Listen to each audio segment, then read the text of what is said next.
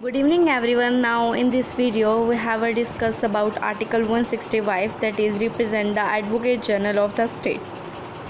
Advocate advocate general of a state is just like the जैसे कि state level के ऊपर प्रेसिडेंट होता है, वैसे ही अटर्नी जैसे हमने अटर्नी जनरल पढ़ा था सेंट्रल लेवल के ऊपर, वैसे स्टेट लेवल के ऊपर एडवोकेट जनरल होता है he is the highest law officer in the state और स्टेट गवर्नमेंट पर कोई भी केस जो चलता है, वो एडवोकेट जनरल जो होते हैं कोर्ट के अंदर रिप्रेजेंट करते हैं।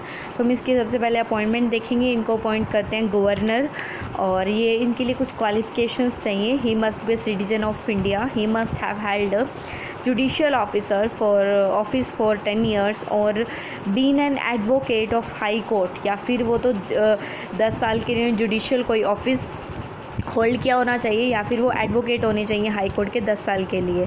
और ये qualified to be appointed as a जज ऑफ़ हाई कोर्ट ये क्वालिफाइड होने चाहिए हाई कोर्ट के जज के लिए। इसकी जो टर्म्स हैं, जैसे अटर्नी जनरल की फ़िक्स नहीं थी, ना प्रोसीजर था रिमूवल का फिक्स्ड वैसे ही एडवोकेट जनरल का भी फिक्स नहीं है। और ये अपना होल्ड करते हैं office during the pleasure of the governor जब तक गवर्नर चाहता है, वो तब तक इस अपने ऑफ़िस को होल्ड कर सकते हैं। और ये रिमूव भी किए जाते हैं तो वो भी गवर्नर के द्वारा अगर इनको रिज़ाइनेशन देना है तो वो भी गवर्नर को देंगे। उसके बाद एक पॉइंट आता है कन्वीनियंशली एक जहाँ पे जैसे अटर्नी जनरल को था, अगर सरकार गवर्नमेंट चेंज होती है तो उसको रिज़ाइन देना पड़ता था रिप्लेस होना पड़ता था because there is a matter of some beliefs and faith तो ये ट्रेडिशनली ये चीज़ चली आ रही है, लेकिन ये कॉन्स्टिट्यूशनल के अंदर मैंशन नहीं है। और जो रिम्यूनरेशन होगी या सैलरीज वगैरह होगी एडवोकेट जनरल की, वो भी गवर्नर ही डिसाइड करता है। इनकी कुछ ड्यूटीज़ और फ़ंक्शंस हैं।